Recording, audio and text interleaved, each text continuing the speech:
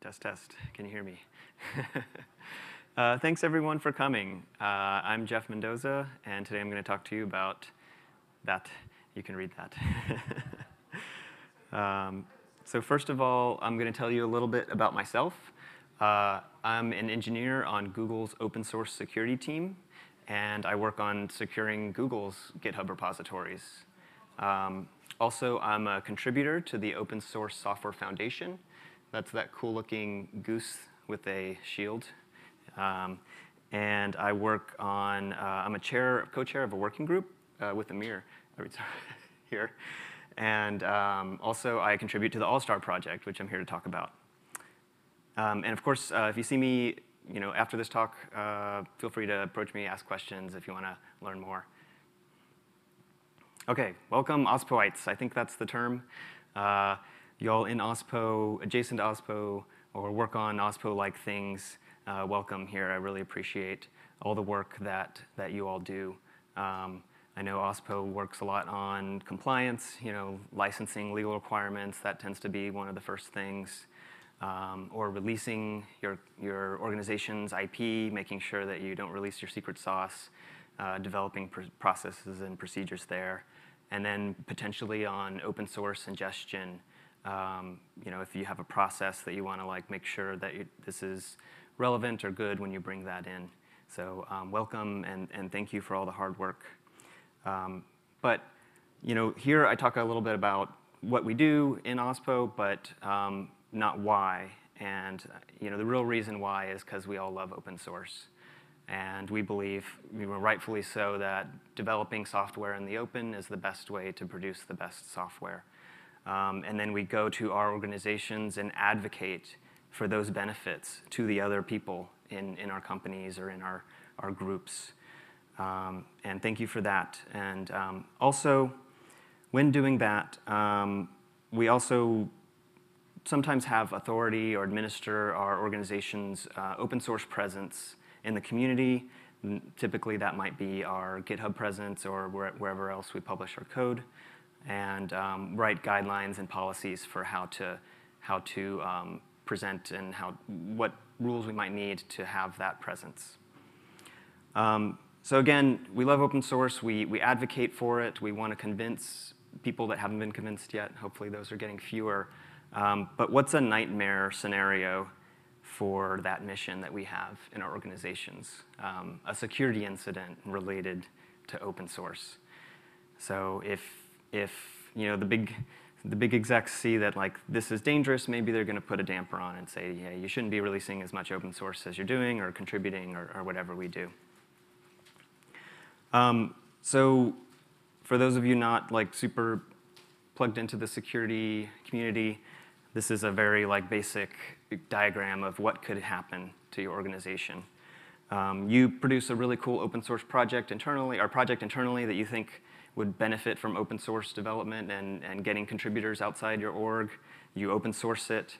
Uh, a malicious actor puts in a backdoor, whether into the project directly or somewhere in your release pipeline. And then that project that's maybe used by your paying customers or your consumers is then um, ingested and those people are, are compromised due to your open source project. Um, so an example, in March of last year, uh, the PHP language's Git hosting servers were compromised, and attackers added a backdoor to PHP uh, that enabled remote code execution. Fortunately, the commits were detected and reverted before it made it downstream to users in that case. Um, what I'm describing here, as many of you may know, is a supply chain attack. And a really basic example, a basic definition of a supply chain attack is a malicious compromise in a project um, that is then used to compromise downstream systems. Uh, and, and in here, and for, for us OSPOites, we're talking about our open source projects mostly.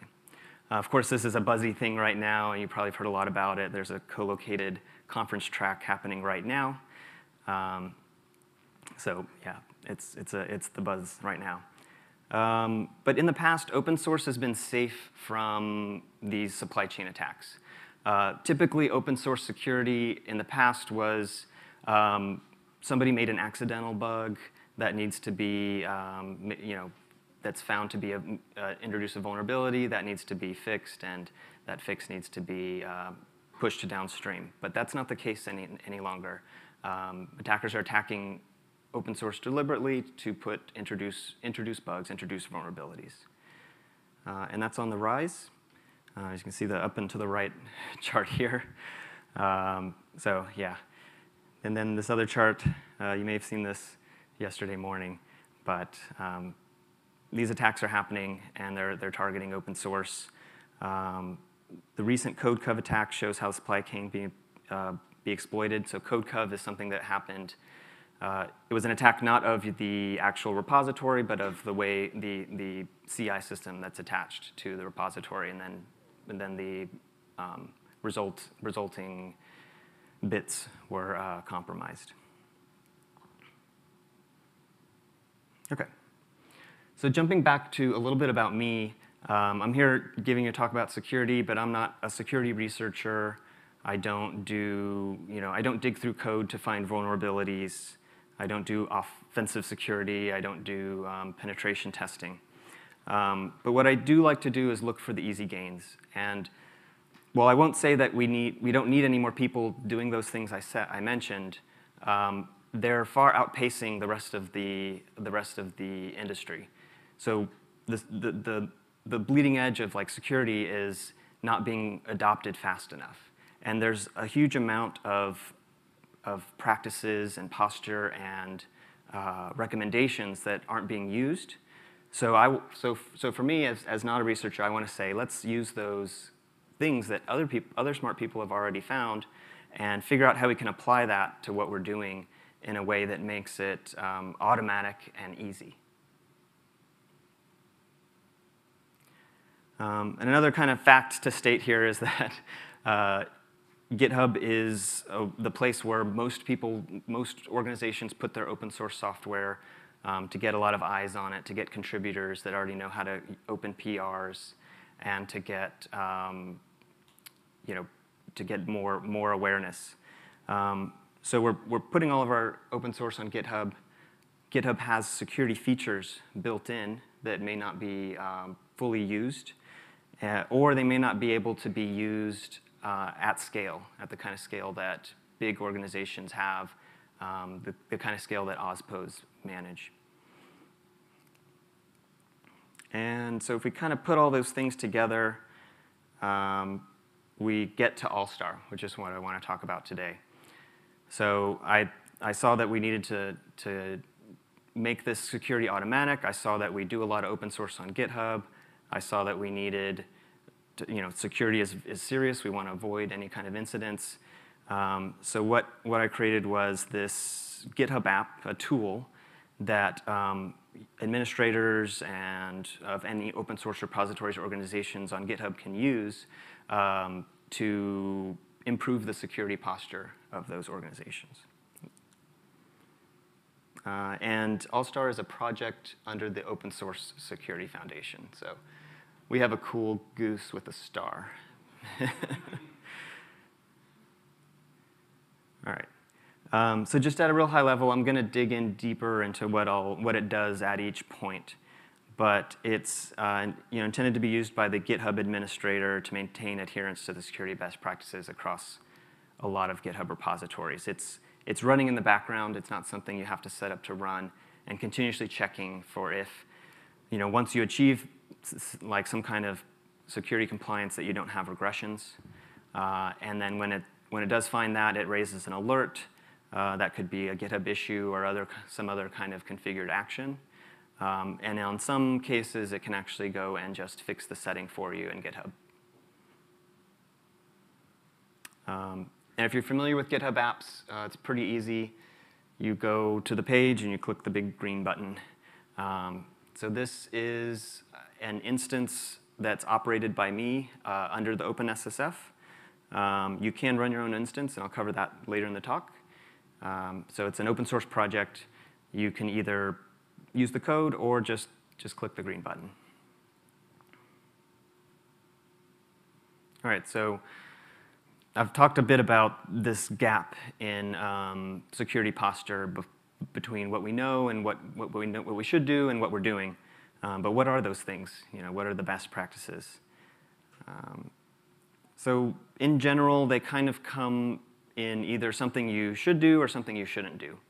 Uh, so just a real generic list of continued testing, to making sure your, your dependencies are up to date, making sure you have good um, review practices, and then things you don't do like making sure you, that you don't have um, CI permissions that let you know, your, your tokens that are too broad, um, the principle of least privilege, that kind of thing.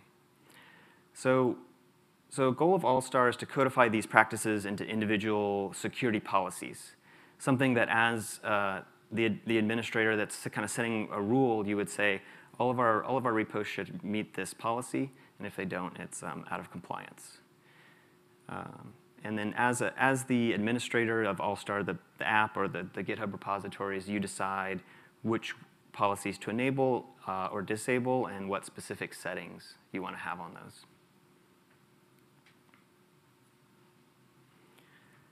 Um, so this is a um, graph, uh, a diagram from SLSA that covers the entire like uh, world of supply chain attacks.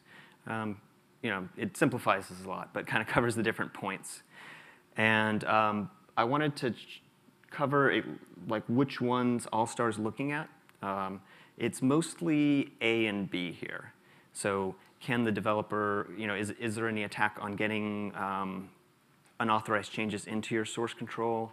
Or is there a compromise to the, the permissions on your source control?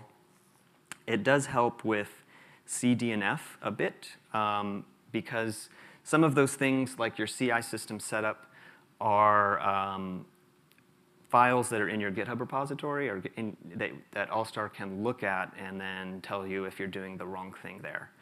Um, but inherently, it's not uh, plugged into your CI/CD system unless we, we can look at those files in your repository. Um, so if you're concerned about the rest of the letters on this, and you should be, um, check out the SLSA project and, and read more about uh, how to make sure all of those things are secure. All right, so I'm going to dive into the policies that Allstar supports specifically. Um, and if, you know, this can get a little dry because it's detailed, but um, if, you take, if you take anything away, know that these are the practices you should be doing whether or not you use Allstar on your GitHub repositories. Um, so the first and the major uh, thing that we want to have turned on is branch protection. So branch protection is a set of GitHub settings that limit the users with write and push accesses ability to push directly to those protected branches. Um, at its most basic, it requires a pull request to merge code, so you can't actually just push directly to the branch. Um, but if you put the settings right, you can set the number of PR reviews required, dismissing approvals, etc.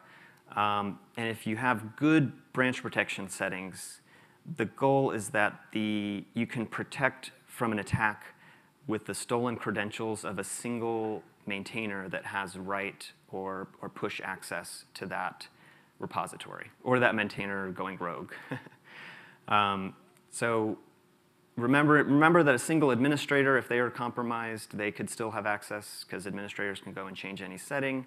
So still follow you know, the principle of least privilege there. Try to limit the number of administrators on your GitHub repositories. And then um, with good branch protection, you can have um, more writers and, and not be worried of uh, one of them being compromised. And you know, like most security, if, your if your project has um, better security than the project next to you, then the attacker will go to the project next to you. So if they have to, to compromise two different writers to get access to make an attack, um, then you know, it's a lot, that much harder. So yeah, we recommend setting up branch protection on any GitHub repository that you have where it's feasible. Um, it's not feasible on single developer projects where you don't have anybody to approve reviews. So. Um, so what can Allstar do for branch protection? It can, you can tell it um, which branch to, protect, to, to check. Normally it'll just check the default branch, but if you have release branches, you want it to check those too. Um, it'll see that you have the specific settings set that are needed, and then notify the repo or if it's out of compliance by the, with the issue, or um, it, Allstar can go and change the settings to be what you specify. Actually, raise the settings up. Um, and again, like you might be thinking, why do I need Allstar to do that? But remember the, the scale here. Branch protection is a per repo, per branch setting, and Allstar does that across all your repositories. Uh, the next policy I wanted to discuss that Allstar enforces is binary artifacts. Um, you can say, I don't want to have binary artifacts in any of my Git repositories. Um, binary artifacts are things that can't be reviewed. Um, you can, you know, uh, somebody could try to merge a new version, a, a, quote new version of this binary in that might be subverted and you wouldn't know. Um, so in general, this is something you want to avoid unless you absolutely need it. Um, so again, Allstar can go and check to see if you have anything there. Um, you can list out ignore list out binaries that are allowed that you um, in an ignore list, and then it'll alert you if it finds any artifacts. Um, another policy is a security MD. Um, so security MD is, is known as a security policy. Sorry for the naming confusion. But um, this file lets security researchers know how to responsibly and privately disclose vulnerabilities found in your project. So without it, a researcher might be forced to disclose a vulnerability publicly, leaving you with no time to actually produce a patch version for your consumers. Um, so Allstar can check for the presence of this file in uh, each GitHub repository or at the org level. So at the org level in your .github um, in your .github repository, you can put a security MD there, and it'll uh, apply to your whole GitHub organization. Um, this is found in the security tab if you're, if you're not aware, uh, where it's got the orange there. If you click on that and then the security policy on the left, you can see the security policy for any GitHub repository. It's there for, and security researchers know, how to, know where to find this, but you as an organization might want to, want to make sure that you have this on everything. Uh, another policy that Allstar can enforce is an outside collaborator policy. Uh, in GitHub, uh, organization members and teams built inside of an organization can be given access to repositories like read, write, uh, admin. Um, but also, if you go directly to a repository, non-organization members can be added, and, and GitHub calls these outside collaborators. Um, so Git Allstar can scan repositories with, for any outside collaborators with certain access, uh, which you configure. You can say, I don't want to have any outside collaborators with write access, or you can say just admin, like I want to avoid admin, but outside collaborators with write is okay. Um, and it'll also alert you if you have any of those. Um, this pairs well with other automation that controls like who's a member of the organization, because uh, that's just the, the, top level that you, that you might have. So I've, I've known a number of um, companies that have that kind of automation. So when somebody leaves the company, they, they remove them from the, uh, from the GitHub organization. Um, and just another side note, there's another part of the outside collaborator policy called ownerless, which will um, alert you if there are no administrators. So this might be a worry if um, nobody, nobody in your, your organization owns the project um, and nobody's looking for alerts or issues or, or vulnerabilities. Um, another policy that Allstar can check for is dangerous workflow. Um, so to, to, to, understand this, we have to look at how like a CI/CD system typically works. And people use CI/CD for two things. Um, here we have a left, left column and a right column, and these things have vastly different trust levels. So on the same system, let's take the right column, you have a contributor, an unknown contributor making a PR. You want to take that code and run test, lint, and coverage on it and produce results. But on the left column, you also have like a, a maintainer making a release tag. And in that system, you want to build uh, release artifacts and sign them and publish them to your, your storage uh, account or, or your package manager. Um, so one is highly sensitive and one you're running untrusted code and it's really easy to get the configuration of your CI/CD wrong to like leak, have leakage between the two.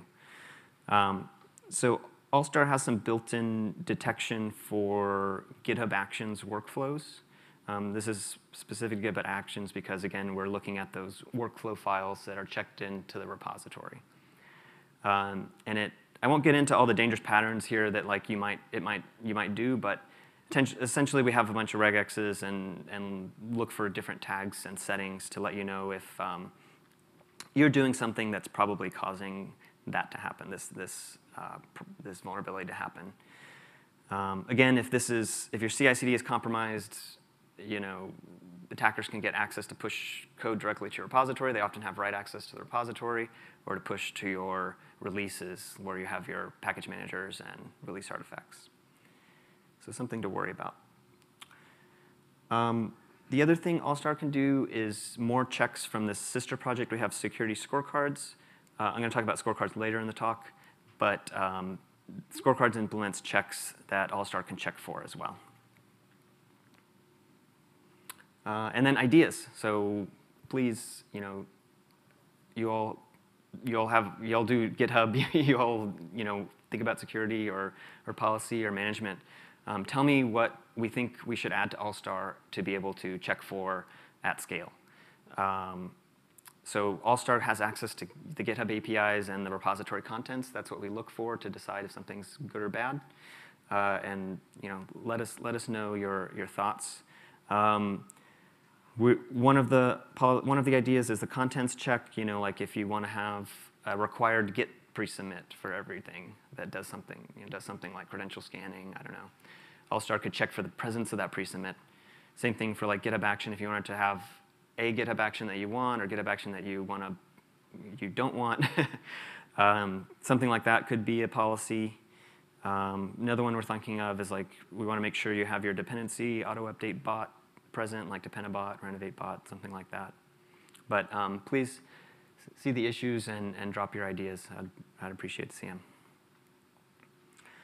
Okay, so that's a pretty detailed look at um, all of the all of the um, uh, security policies that we can look for. Well, what do we do when we find a repository that's out of, out of compliance based on what, what you set up? Uh, and those are our, our, quote, enforcement actions. Um, so the most basic one is to create a GitHub issue. Uh, and the important thing to know about the GitHub issue is that the people reading the issue aren't necessarily the person setting, you know, the person setting up Allstar, setting up the configuration, deciding what the requirements are. They're, they're, they're maintainers of the, some, one of the projects in your organization. So they need to know what the violation is, exactly why it's important, are the remediation steps to fix it, and you know, links to more documentation. So that's kind of our goal with the issue. Um, Allstar will open one issue per policy per repo, uh, and it will ping it if like every 24 hours if nobody responds or, or fixes it. Um, whenever the the the um, violation is fixed, since Allstar is scanning in the background, it'll see that it's fixed and just auto close the issue for you. you don't have to close it. Um, next one is to fix. So let's fix, if, if the policy is something that can be fixed um, by Allstar, then let's have a, a, an action that will just do the fix for you. Um, so right now it's just branch protection because those are the settings. But any, any policy that we add that is a setting that can be flipped or switched, um, let's have an action that will go and, and Allstar can make the API call to GitHub to, to set that. Um, some of the other things like, like security MD, you know, that's not easy to fix. Like we'd have to make a PR, but we don't really know what you want to put in there. So that's something that you have to go and, and do yourself. Um, so future ideas for actions. Again, it's a, it's a developing project uh, looking for, for contributions. Uh, right now, I'm working on RPC action, which will make a gRPC call to an external system, which is meant to be then piped for, by you into like your internal system if you have an internal bug tracker or something like that, if you wanted to build a plugin. Um, block is an idea of an action where, you know, if we were really confident in Allstar's detection and what we want to check for and what we want to uh, enforce, and um, we could say, basically, if you're out of compliance, like stop allowing PRs to to be merged or something like that. That would kind of be the most draconian as a as a policy administrator uh, that you could set. So that would be easy to implement it, but we haven't really seen a need to do that yet. Um, email, Like we could have it like issue where instead of creating issues, it can email somebody, the administrators, the maintainers of the project. Um, but not it needs design. Like how do we how do we know who to email and, and whatever. But um, if that's something that, that people think Allstar should do, definitely um, weigh in. Okay, so let's say you have Allstar set up. It's uh, checking all your repositories for the things that you consider important, uh, creating issues, or whatever. Um, policy is not going to be universally applicable to every project in your organization. Um, so you'll need a way to allow users to opt out. So Allstar config either goes into an organization level repository, the dot .allstar repository, or it goes into a, the repos itself. You can put config in each individual repo. Uh, and there's another setting that the administrator can have, the override enabled, and that really allows you as the administrator to decide um, what level of review you want on uh, exemptions. So uh, if you set override allowed, then any repository might be able to put, you know, the, the owner of that repository can put a, set, a file in that repo to say, like, I want to turn off or, or tweak the settings to Allstar. Uh, and that might be if, if you want to have, um, if you trust everybody to, to follow like whatever approval, uh, policy that you have for exempting. However, if you want to have like an approval process, you could say override disabled and um, any change to Allstar config would need to go to the one.allstar repository in your organization, which you would manage and look at PRs and you know have some kind of way that you determine if this it's okay to exempt this repository. Uh, again, this is flexible at the security at the at the policy level, so it's not just for all of Allstar you can say for this policy, um, repos can opt themselves out, and for that policy, I want it to be, I want all reviews to go through me. Okay, so getting more into the more details on the install, uh, I already showed you the big green button, you click it. Um, we have a sample repository that's a quick start with all the config files. If you copy the quick start to your organization, then um, you will essentially just turn on Allstar with all the policies uh, and overall, in all the default settings, and overall, it's um, the project's intention that the default settings and all the policies is the security, is our recommended security best practice. Um, but of course, everything, everything is tweakable. Um, but before you do this on like a huge organization, you, you might get too many issues right away. So you might need to take a little bit more um, uh, stepped approach. So um, so for a large organization, you, you'll want to have steps. And I, I kind of recommend two prongs. One, look for teams in your organization that are interested in Allstar and trying it out and seeing if they will turn it on themselves. And, and two, um, start looking at the policies and seeing which one might be the easiest one to enable uh, company-wide or organization-wide, and um, doing that like one step at a time. So like branch protection is a hard one because I think it's probably the most important one, but it's um, maybe the least used right now, uh, at least uh, widely. So turning it on will probably make a lot of issues. um, but something at like setting up an org level security.md file and turning on that policy could be a really easy first step. So um, yeah, launch and iterate, and if you run into any problems, definitely let us know. Uh, so um, at case study, uh, I'm doing this at Google right now. Um, we have done that two-prong approach. Uh, for example, the like Flutter, Dart, Angular teams have turned it on full, all the policies on their organizations. Um, and at the company-wide level, I'm only, I've only turned on binary artifacts. So binary artifacts will check, again, the artifacts and, and create the issues. So we've had like surveys and internal communication for people that have seen these issues because um, you can you know you can go to GitHub, search for issues, and then see if we've get any um, get any feedback, tweak the issue text, that kind of stuff. And of course, all that's going into the the um, the, the public all stars. So all of our efforts on making the issue text as good as we can.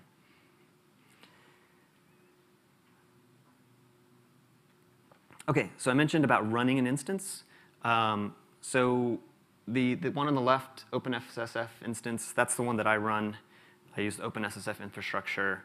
Um, so when you install a GitHub app, you're essentially like giving um, the app, which is a like a private key and can access GitHub APIs, you're giving it access to your GitHub repositories.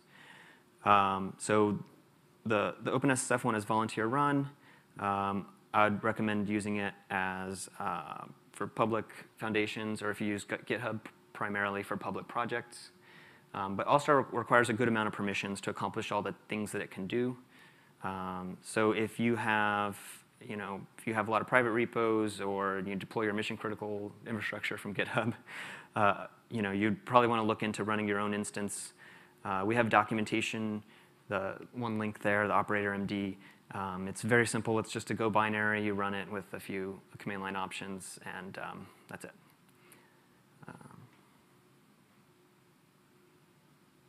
okay.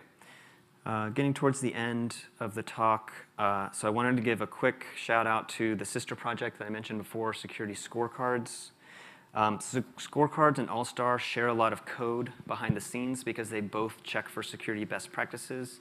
The difference is scorecard is something you run on other projects, and it tells you a 1 in 10 score of the security posture of that project. Um, as OSPOites, you might want to consider using scorecards in your organization's OSS ingestion process. Um, and then we hope that like demand for high scores and open source will give like improve the posture of other open source as well. Um, before you run scorecards on your ingestion or you know, the, your dependencies, you do need to know what they are. So I think there's other talks about that in this track. Um, yeah, that's it. Uh, thank you very much. You know, let us uh, uh, hit the issues and let us know what you think, ideas for policies, feature requests, what best practices are we missing?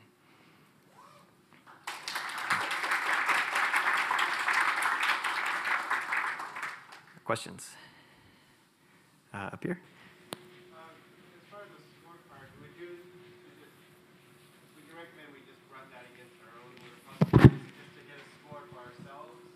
Yeah, you can run scorecards. Yeah, you can run scorecards against your own repository. The question was, what should we do with scorecards? Can we run it on our own repositories? Yes. So that would be, you know, point in time, like I want to see how am I doing. Uh, I would I would recommend that, and then when you're at the point where like, okay, I want to I want to keep keep everything up to date, then then look at Allstar. Uh, question back here. Um, so we're a bit odd. We don't use GitHub. We use GitLab. Yes. Um, so can we use Allstar on GitLab uh, on our self-hosted GitLab? Yeah, great question. Um, so Allstar is a GitHub app. It's based on like the settings that GitHub provides and kind of even the gaps that it doesn't let you set settings at an org level.